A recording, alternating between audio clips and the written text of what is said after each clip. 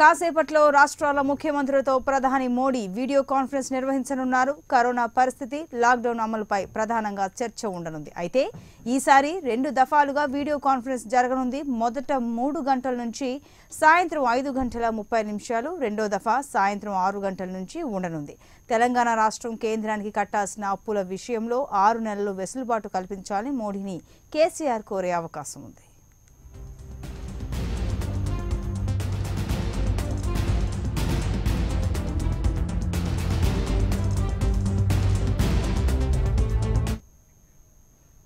మరింత సమాచారం మా కరెస్పాండెంట్ ప్రవీణ్ లైవ్ ద్వారా అందిస్తారు. ప్రవీణ్ అన్ని రాష్ట్రాల సీఎంలతో పీఎం వీడియో కాన్ఫరెన్స్ నిర్వహిస్తా అని తెలుస్తోంది. వివరాలేంటి? సంతోషి మూడు గంటలకు అన్ని రాష్ట్రాల ముఖ్యమంత్రులతో ప్రధాని వీడియో కాన్ఫరెన్స్ నిర్వహించబోతున్నారు. గతంలో మాత్రం వీడియో కాన్ఫరెన్స్లో మాత్రం అన్ని రాష్ట్రాల ముఖ్యమంత్రులు ఒకేసారి కూడా పాల్గొన్న పరిస్థితి మాత్రం ఉంది. గతంలో జరిగిన నాలుగు సార్లకు భిన్నంగా కూడా పురుషులు మాత్రం ఈసారి ఆ మూడు గంటల నుంచి ఐదు గంటల ముప్పై నిమిషాలకు కూడా మొదటి దఫాగా వీడియో కాన్ఫరెన్స్ జరగబోతుంది. మా దాని తర్వాత అర్ధగంట పాటు కూడా బ్రేక్ ఇవ్వబోతున్నారు. ఐదు గంటల ముప్పై నిమిషాలకు తర్వాత కూడా ఆ వీడియో కాన్ఫరెన్స్ బ్రేక్ ఇచ్చిన అనంతరం కూడా ప్రారంభమైతే మాత్రం రాత్రి ఎన్ని గంటల వరకు జరుగుతుందని చెప్పేసి కూడా ఒక క్లారిటీ లేని పరిస్థితి మాత్రం ఉందని చెప్పుకోవచ్చు. ఎందుకంటే రాష్ట్రాలకు సంబంధించినంత వరకు ఇప్పటివరకు కరోనా పాజిటివ్ కేసులు కూడా కొన్ని రాష్ట్రాల్లో రోజు రోజుకు ఎక్కువ అవుతున్న పరిస్థితుల నేపథ్యంలో మాత్రం లాక్డౌన్ని ఇంకా పురుషాలు పెంచాలని చెప్పేసి కూడా కేంద్ర ప్రభుత్వము ఆ ఇప్పటివరకే భావిస్తున్న పరిస్థితి మాత్రం ఉంది. జూన్ ఒకటి లేదంటే కూడా జూన్ మూడో వారం వరకు కూడా పెంచాలని చెప్పేసి కూడా కేంద్ర ప్రభుత్వం ఒక భావనలో ఉన్నట్టు కూడా సమాచారం మాత్రం అందుతున్న పరిస్థితి మాత్రం ఉంది. ఈ ఈ సందర్భంలో మాత్రం రాష్ట్రాలకు సంబంధించినంతవరకు సంబంధించినంత వరకు కరోనా పాజిటివ్ కేసులు ఆయా రాష్ట్రాల్లో ఏ విధంగా ఉన్నాయి? కరోనా పాజిటివ్ మాత్రం తగ్గించడానికి మాత్రం రాష్ట్ర ప్రభుత్వాలు ఆ ఎలాంటి చర్యలు తీసుకుంటుంది? ఆయా రాష్ట్ర ప్రభుత్వాలకు సంబంధించినంత వరకు పీపీ కిట్లు కూడా అందుబాటులో ఉన్నాయా లేదనే దానిపై కూడా పీఎం కూడా అన్ని రాష్ట్రాల ముఖ్యమంత్రులు అడిగి తెలుసుకునే అవకాశాలు మాత్రం స్పష్టంగా కనిపిస్తున్నాయని చెప్పుకోవచ్చు. ఎందుకంటే గతంలో కూడా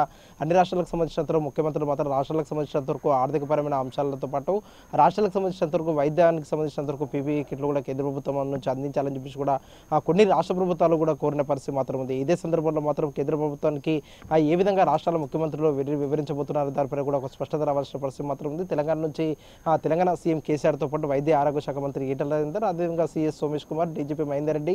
అదేవిధంగా ఆరోగ్య శాఖ అధికారులు కూడా పాల్గొన్నారని చెప్పుకోవచ్చు. పాల్గొన్న అనంతరం మాత్రం పూర్తిగా కరోనా కట్టడితో పాటు ఆ తెలంగాణకు సంబంధించినంత వరకు ఆర్థికపరమైన అంశాలపై కూడా పీఎంకి వివరించాలని చెప్పి కూడా ఆ సీఎం కార్యాలయం ఇప్పటివరకే ఒక అధికారిక ప్రకటన మాత్రం విడుదల చేయని పరిస్థితుల్లో మధ్య మాత్రం కొంతవరకు మాత్రం అదే విషయాన్ని కూడా ఆ భావిస్తున్నట్టు కూడా సమాచారం మాత్రం అందుతున్న పరిస్థితి మాత్రం ఉంది. ఎందుకంటే రాష్ట్రాలకు సంబంధించినంత వరకు ఆర్థికపరమైన ఆ అంశాలపైన కేంద్ర స్పష్టత ఇవ్వాలి. కేంద్రానికి సంబంధించినంత వరకు ఏదైతే రాష్ట్రాలకు సంబంధించినంత వరకు ఆ కేంద్రానికి చెల్లించాల్సిన బకాయిల విషయంలో కూడా కొంతవరకు వెసులుబాటు కల్పించాలని చెప్పేసి కూడా గతంలో కూడా సీఎం కేసీఆర్ ప్రధాని నరేంద్ర మోడీకి కూడా లేఖ రాష్ట్ర పరిస్థితి మాత్రం ఉంది. ఆ లేఖలో మాత్రము ఆరు నెలల పాటు కూడా ఏదైతే రాష్ట్ర ప్రభుత్వం కేంద్రానికి చెల్లించాల్సిన బకాయిలు ఉంటాయో వారంటిని కూడా మినాయింపు ఇవ్వాలి. ఆరు నెలల తర్వాత మాత్రం బకాయిలు కడతామని చెప్పేసి కూడా ఆ గతంలో ఒక సూచనలు చేశారు. దానిపైన కూడా కేంద్ర ప్రభుత్వం మాత్రం ఒక క్లారిటీ ఇవ్వని పరిస్థితి మాత్రం ఉంది. దీంతో పాటుగా ఎఫ్ఆర్బిఎంకు సంబంధించినంత వరకు కూడా కొంతవరకు పరిధి పెంచాలని చెప్పేసి కూడా గతంలో ఆ పీఎంకి లేఖ రాస్తే దానిపైన కూడా ఒక స్పష్టత ఇవ్వలేదని చెప్పేసి కూడా గత మీడియా సమావేశంలో కూడా సీఎం కేసీఆర్ ఆగ్రహాన్ని కూడా వ్యక్తం చేసిన పరిస్థితి మాత్రం ఉంది. కేంద్ర ప్రభుత్వం మాత్రం పూర్తిగా రాష్ట్రాలను కూడా పక్కకు పెట్టింది.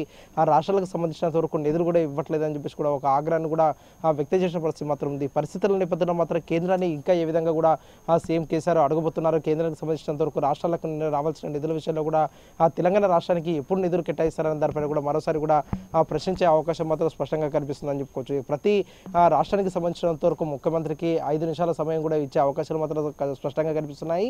ఎందుకంటే అన్ని రాష్ట్రాల ముఖ్యమంత్రులు కూడా మాట్లాడాలి. రాష్ట్రాలకు సంబంధించినంత వరకు సమస్యలు కావచ్చు ఆ కరోనా కట్టడి నేపథ్యంలో మాత్రం రాష్ట్రాలు ప్రభుత్వాలు తీసుకున్న అన్ని జాగ్రత్తల విషయాల్లో కూడా వివరించే అవకాశం మాత్రం స్పష్టంగా ఉన్నాయని చెప్పుకోవచ్చు. ఈ పరిస్థితుల నేపథ్యంలో మాత్రము ఆ తెలంగాణ రాష్ట్రం నుంచి ఈ రెండు విషయాలే కాకుండా ఇంకే విషయాలపైన కూడా ప్రధాని ప్రధాని నరేంద్ర మోడీని ప్రశ్నిస్తారని దానిపైన కూడా ఒక స్పష్టత రావాల్సిన పరిస్థితి మాత్రం ఉంది.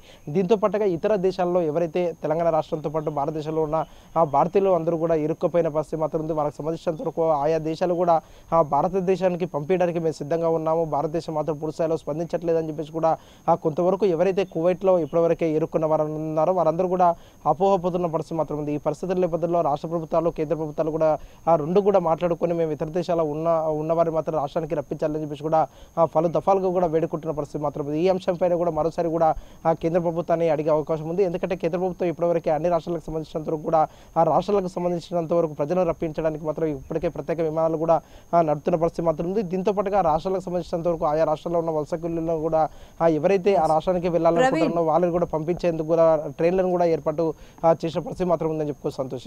ప్రవీణ్ అయితే ఇది వరకు కూడా ఇలాగే వీడియో కాన్ఫరెన్స్ నిర్వహించారు పీఎం. చాలా అన్ని రాష్ట్రాల సీఎంలతో కూడా మాట్లాడారు. అయితే చాలా మంది చాలా రాష్ట్రాల ముఖ్యమంత్రులు స్వచ్ఛందంగా లాక్డౌన్ పొడిగించుకుంటాము మా రాష్ట్రానికి కాపాడుకోవడం కోసం అని చెప్పి వాళ్ళు ముందుకు వచ్చారు అలాగే కంటిన్యూ అవుతూ వచ్చింది.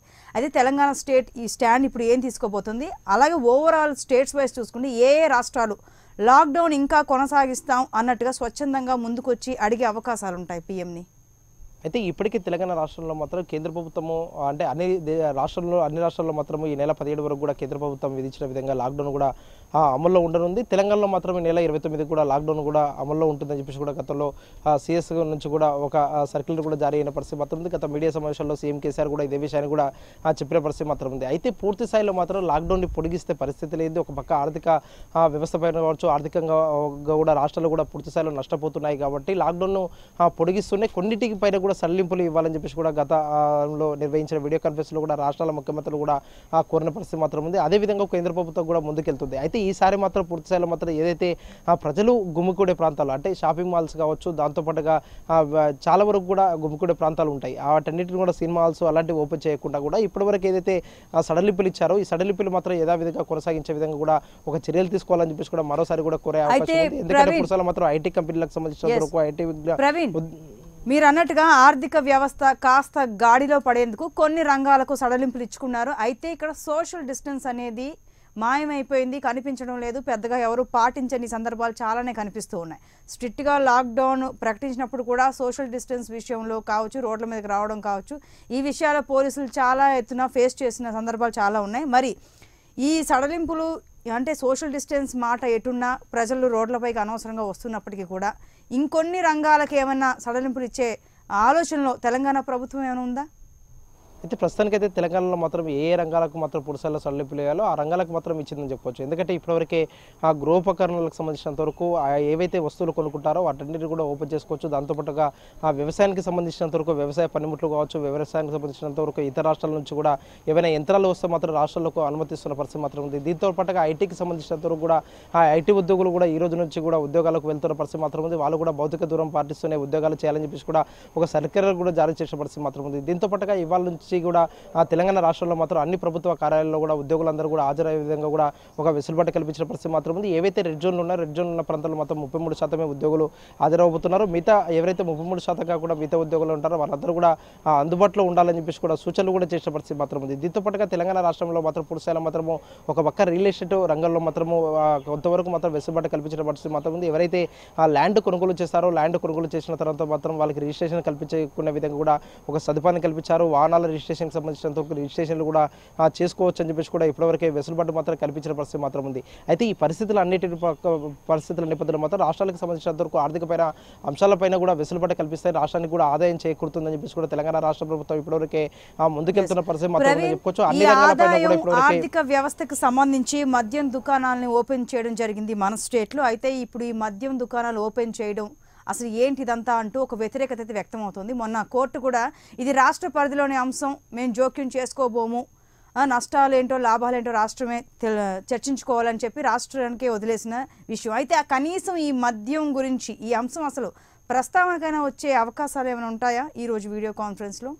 అయితే మద్యం దుకాణాలకు సంబంధించినంత వరకు కూడా గతంలో కేంద్ర ప్రభుత్వం వాళ్ళు సూచనలు చేసింది. ఎందుకంటే మద్యం దుకాణాలు ఓపెన్ చేసుకునే అంశం మాత్రం రాష్ట్ర రాష్ట్ర ప్రభుత్వాల పరిధిలో ఉంటుంది. రాష్ట్ర ప్రభుత్వాలు మాత్రం తగు జాగ్రత్తలు తీసుకుంటూ కూడా అక్కడ మద్యం దుకాణాలు ఓపెన్ చేసుకోవచ్చు అని చెప్పేసి కూడా గతంలో కూడా కొన్ని సూచనలు చేసిన పరిస్థితి మాత్రం ఉంది. అదేవిధంగా మాత్రం తెలంగాణ రాష్ట్రంలో కావచ్చు ఇతర రాష్ట్రాల్లో కూడా ఆ మద్యం దుకాణాలు ఇప్పుడే ఓకే ఓపెన్ చేసుకున్న పరిస్థితి మాత్రం ఉందని చెప్పొచ్చు ఎందుకంటే లాక్డౌన్ పీరియడ్లో మాత్రం పూర్తిగా అందరి అన్ని వ్యవస్థలు కూడా స్తంభించిపోతే మాత్రం ప్రతిరోజు కూడా నాలుగు వేల కోట్ల వరకు కూడా తెలంగాణలో లాస్ అయిన పరిస్థితి మాత్రం ఉందని చెప్పుకోవచ్చు. ఇప్పటివరకు కూడా ముప్పై లక్షల కోట్ల వరకు కూడా లాస్ అయిందని చెప్పేసి కూడా ఒక అభిప్రాయాన్ని కూడా తెలంగాణ ఆర్థిక వ్యవస్థ కూడా ఆ పూర్తి ఒక అంచనాలో వేస్తున్న పరిస్థితి మాత్రం ఉంది. పరిస్థితుల నేపథ్యంలో మాత్రం ఒక పక్క మద్యమే కావచ్చు ఇంకా రిలేషన్ రియల్ ఎస్టేట్ రంగం కావచ్చు వాహనాల రిజిస్ట్రేషన్ కావచ్చు ఇవన్నిటి ద్వారా మాత్రం తెలంగాణ ప్రభుత్వానికి కూడా కొంతవరకు ఆదాయాలు వచ్చే మార్గాలు ఉన్నాయి కాబట్టి మార్గాలు అన్నిటిని మాత్రం ముందుకు వెళ్ళాలని చెప్పేసి కూడా ఆ తెలంగాణ ప్రభుత్వం మాత్రం గతంలో భావించిన ప్రవేశిస్తున్న నేపథ్యంలో మాత్రం ఇప్పటివరకు వీటన్నిటిపైన కూడా ఆ కొంతవరకు సల్లింపులు ఇచ్చిందని చెప్పేసి కూడా అర్థం చేసుకోవాల్సిన పరిస్థితి మాత్రం ఉందని చెప్పుకోవచ్చు. ప్రవీణ్ అలాగే మెల్లగా ఐటీ కంపెనీలు తెరుచుకోనున్నాయని ముప్పై మూడు శాతము మరి ముప్పై శాతము అంత స్టాఫ్ తోటి ఐటీ కంపెనీలు రన్ అవుతాయని కూడా చెప్తూ ఉన్నారు. కొన్ని వార్తలు వస్తూ ఉన్నాయి. మరి ఐటీ రంగానికి సంబంధించి పీఎం ఏమైనా ప్రస్తావించే అవకాశాలు ఉన్నాయా? లేకపోతే మన స్టేట్ తరఫు నుంచి సీఎం ఏమైనా ఈ అంశాన్ని లేవనెత్తుతారా? ఎందుకంటే ఐటీ రంగంపై కూడా కరోనా ఎఫెక్ట్ చాలా పడింది. ఈ రంగం ఆ రంగం అని లేదు. మొ మొత్తానికైతే హైదరాబాద్ అనగానే అందరికీ గుర్తొచ్చేది ఐటీ సెక్టార్ ఎక్కువగా గుర్తొస్తూ ఉంటుంది. మరి ఈ ఐటీ కంపెనీస్ అంటే డెలాయిట్ కావచ్చు మరికొన్ని కంపెనీస్ ముప్పై మూడు శాతం సిబ్బందితో నడుపుతామని అంటున్నారు. మరోవైపు వర్క్ ఫ్రమ్ హోమ్ లాక్డౌన్ అప్పటి నుంచి వర్క్ ఫ్రమ్ హోమ్ చేస్తూనే ఉన్నారు.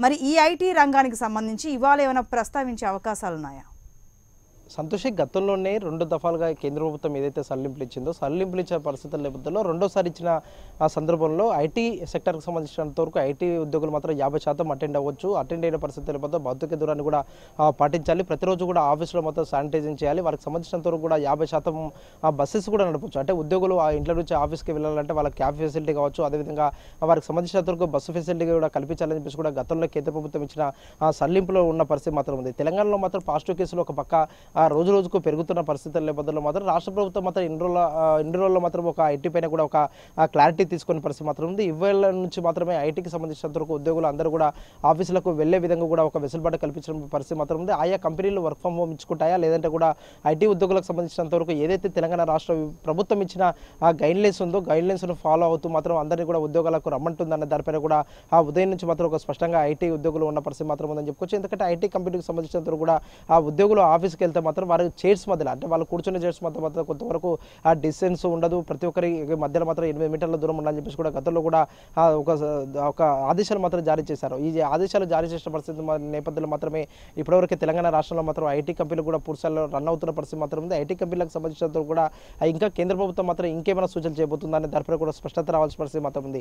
గతంలో ఇచ్చిన సల్లింపులు ఏవైతే ఉన్నాయో ఆ సల్లింపులో. మాత్రం యాభై శాతం ఐటీ ఉద్యోగులు కూడా హాజరయ్యే హాజరు అవ్వచ్చు అని చెప్పేసి కూడా కేంద్ర ప్రభుత్వం ఇచ్చిన సల్లింపులో సూచించిన పరిస్థితి మాత్రం Yes, right. Thank you, Praveen. Thanks for the live updates.